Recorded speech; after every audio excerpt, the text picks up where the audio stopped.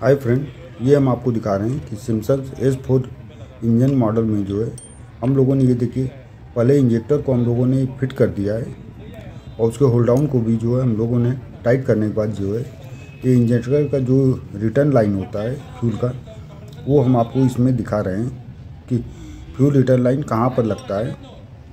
और इसके बाद जो है हम आपको सप्लाई की भी इसमें दिखाएँगे। पहले फ्यूल पंप को जो हम फिट करेंगे, उसके बाद जो है इसकी हम सप्लाई लाइन भी आपको दिखा देंगे। तो ये देखिए इस तरह से नाजल को जो है फिट करने के बाद जो है, ये नाजल का जो है फ्यूल का जो है रिटर्न पाइप जो है, हम लोग इस तरह से जो है इसको फिट करते हैं। और इसमें बेंजो वाशर होता है। बेंजो बोल्ट के साथ जो है वाशर को लगा कर जो है हम लोग इंजेक्टर के ऊपर जो है इसको टाइट कर देंगे अगर आपको ये वीडियो पसंद आए तो कृपया इसको लाइक, सब्सक्राइब। हो सके तो अपने दोस्तों, फ्रेंडों और टेक्नीशियन को भी इसको शेयर करें, ताकि उन्हें भी इसके बारे में जानकारियाँ प्राप्त हो।